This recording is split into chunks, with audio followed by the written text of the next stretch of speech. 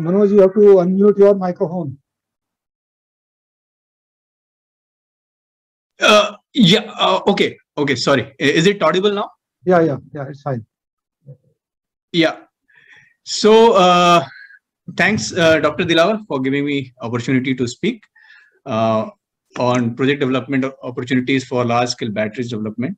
Um, so, I'll be also going to add angle of sustainability and net zero because what we see, uh, whatever the project development or renewable development or battery storage uh, what whatever we are talking about or whatever we are doing we are doing to achieve sustainability and net zero targets.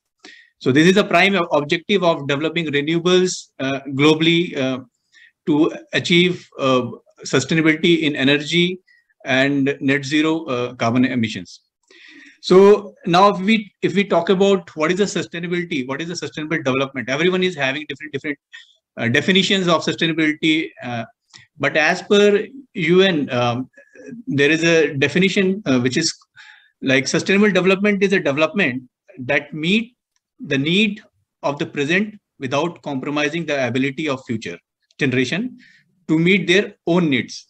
So whatever we are doing today, how the future generation also can benefit, you know, uh, with this uh, with the same resources, whatever available uh, or whatever we are utilizing today. So we have to be, you know, uh, uh, thinking about that and considering that into our uh, practices and uh, doing the de- developments. So renewable and uh, battery storage, whatever we are developing, we are developing because mainly to offset the emissions at large scale and uh, whatever the ecology system is there uh, to maintain that eco- ecology system for future generation. So if we talk about, uh, and the, there is a new term called ESG, you know, uh, environment, social, and governance, which, which is becoming very popular now. Like for in environmental side, climate change. Uh, under environmental, if we look at this climate change strategies, biodiversity, water, and uh, wastewater management, energy management, emission management, and environmental system. So these are the attributes which comes under environmental. On social side, human resource management, equal opportunities, health, safety, human rights, uh, local communities. So uh, we have to you know think about that also while developing any uh, you know uh, any project, uh, including uh, the battery storage. And uh, on governance side, business ethics, regulatory compliance, board and management performance, and stakeholder engagement. So these are the critical things which also we should consider while developing uh, any uh, projects.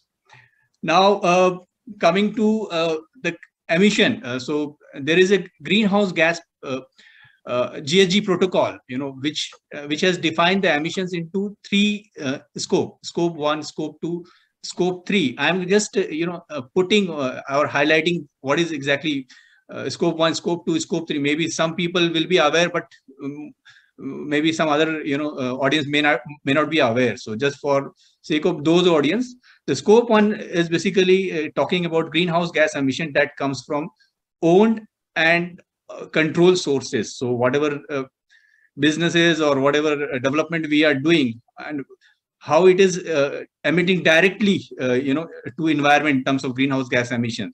That covers under scope one. Uh, for example, for thermal power plant boiler operation, uh, operation fuel uh, from directly owned vehicles. So these are the example which comes under scope one emissions. Scope two uh, is greenhouse gas emission that comes from purchase of energy, heat, steam, or cooling. So, for example, uh, purchase electricity from a distribution company. If uh, that comes under scope two, if that electricity, how green that electricity is, if it is a green uh, electricity, then you are fulfilling your scope two, uh, you are reducing your scope two emissions. And if you're purchasing brown electricity, so you are basically you know contributing towards uh, more uh, pollution. Scope three is defined as a greenhouse emission that are indirectly generated from operations that are not covered by the previous scopes. So whatever covered in the scope one and two, which is uh, uh, and apart from that, whatever other emissions are there, that comes under scope three. For example, like- employee commuting and business travels, like how we are traveling, where we are using public transport or where we are using, uh, you know, um, uh, gasolines more. So that all or outsource activities that also comes under uh, scope three. So this is just uh, you know brief about uh, the carbon uh, emission is scope one, scope two, and scope three.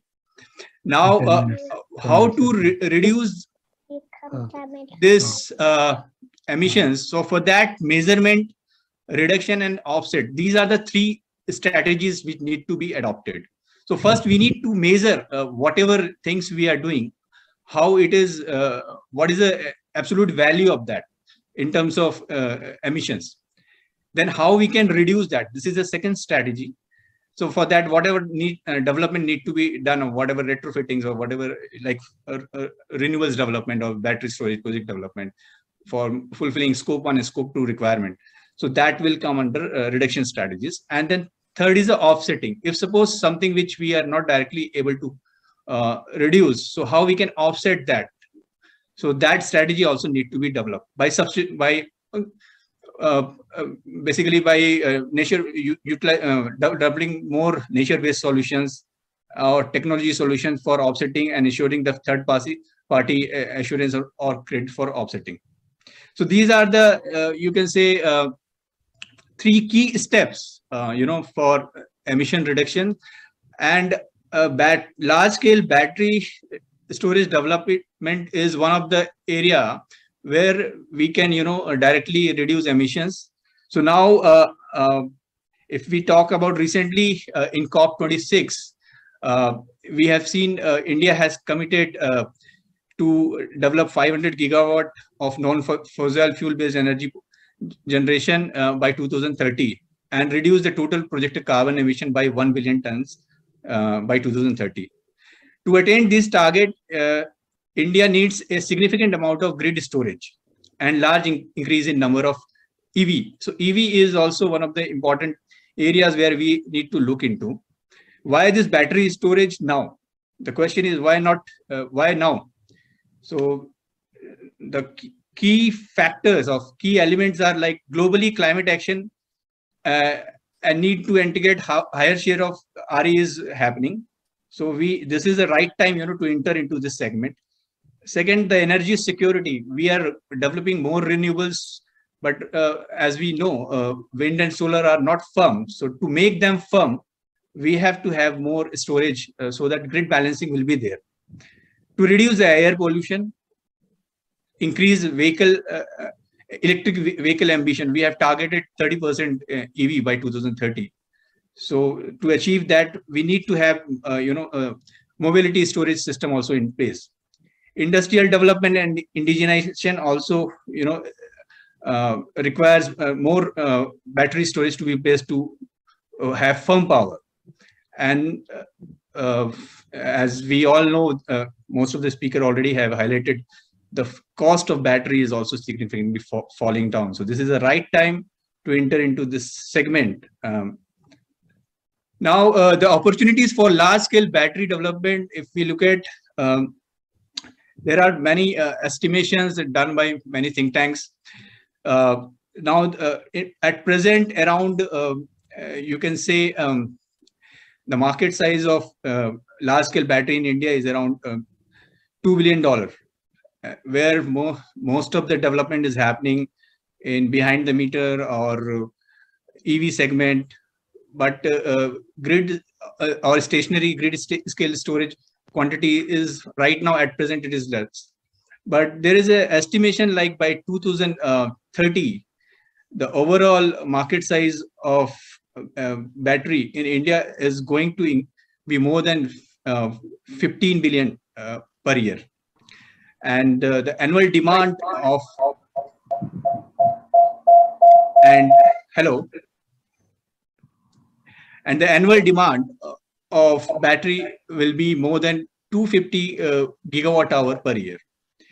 Uh, and most of the uh, develop uh, the demand will be created from stationary storage and EV segment side.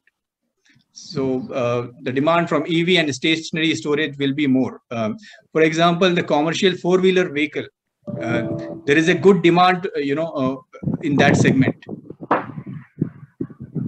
Uh, same for uh, grid support and ancillary services.